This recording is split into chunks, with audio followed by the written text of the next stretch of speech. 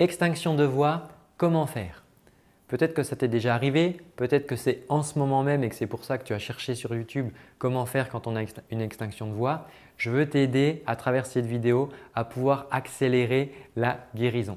Salut, moi c'est Antoine, je suis coach vocal, j'aide les chanteuses et les chanteurs qui veulent développer leur voix pour bien chanter et s'éclater au quotidien. Alors l'extinction de voix, il peut y avoir différentes raisons.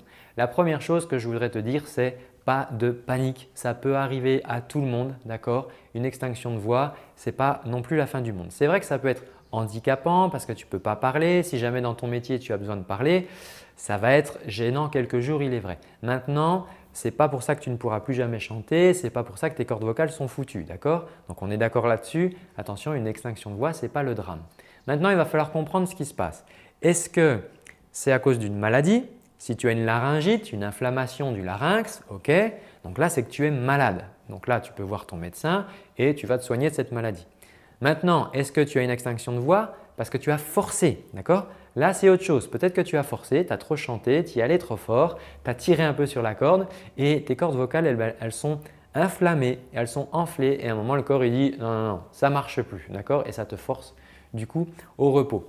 Donc Déjà deux choses, si c'est une laryngite, bon bah là, tu vois avec ton médecin. Si par contre tu as juste forcé, tu vas pouvoir euh, utiliser les, conseils que je te donne là.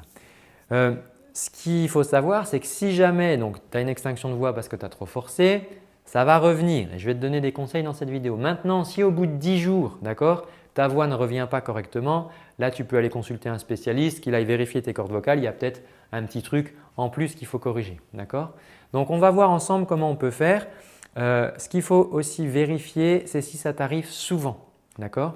Parce que si ça t'arrive souvent d'avoir des extinctions de voix après avoir chanté, là il faut te poser des questions. C'est peut-être un manque de technique, il faut peut-être des échauffements, il faut peut-être des routines pour travailler ta voix. Alors si c'est le cas, je t'en ai mis dans la description de cette vidéo. Clique, tu as un petit lien, tu mets euh, ton prénom, une adresse mail et tu vas recevoir directement dans ta boîte mail d'ici la fin de cette vidéo et eh ben, justement une routine d'échauffement, des exercices pour euh, améliorer ta technique. Voilà, c'est un, cadeau que je te fais pour te remercier de suivre cette chaîne YouTube et de regarder cette vidéo. Vérifie bien cependant dans tes mails que ça n'arrive pas dans les indésirables, les spams ou les promotions parce que euh, bah voilà, des fois les mails ils arrivent, euh, on ne sait pas trop comment ils sont classés. Donc renvoie-moi une petite réponse en disant OK, bien reçu. Comme ça, je saurai que tout est bien arrivé chez toi.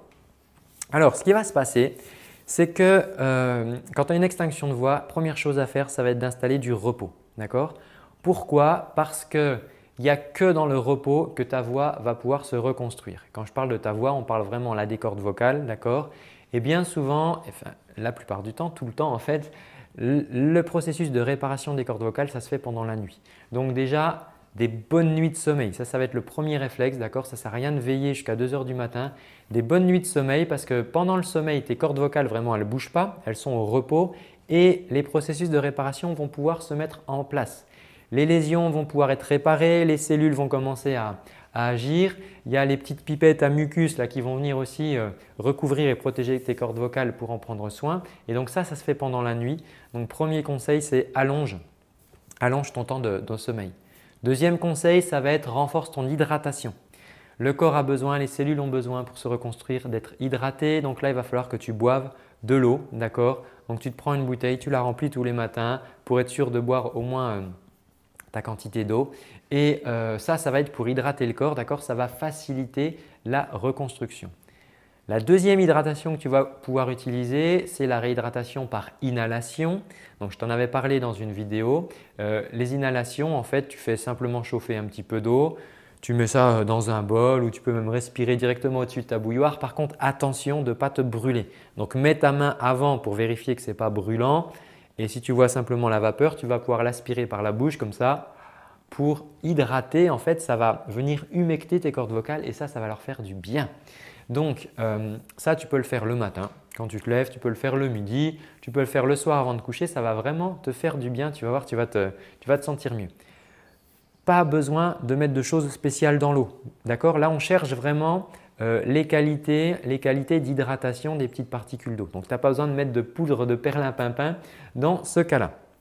Et ce que tu vas pouvoir faire en dernier, c'est suivre un petit protocole de rééducation vocale. Donc ça, je vais te mettre dans la description de cette vidéo un lien avec justement euh, un protocole de rééducation vocale que j'ai fait moi-même lorsque j'avais perdu ma voix. D'accord? Et tu vas voir, voilà ma voix, on l'entend, elle est abîmée, etc. Je fais le protocole, tu vas le pouvoir faire, le faire avec moi et ça, ça va t'aider.